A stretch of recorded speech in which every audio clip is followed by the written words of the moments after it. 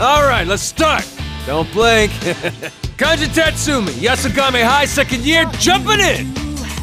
You just stand there, I'll leave you behind! It's gonna be our dancing that beats him this time around, right? Might as well just split up by what year we're in, yeah? Whoa! What is this place? It's kinda cute. How the hell do you think we'd accept you without even seeing your face? Real friends accept each other, even if you gotta go head to head sometimes. You kidnapped her and you're saying she's lucky?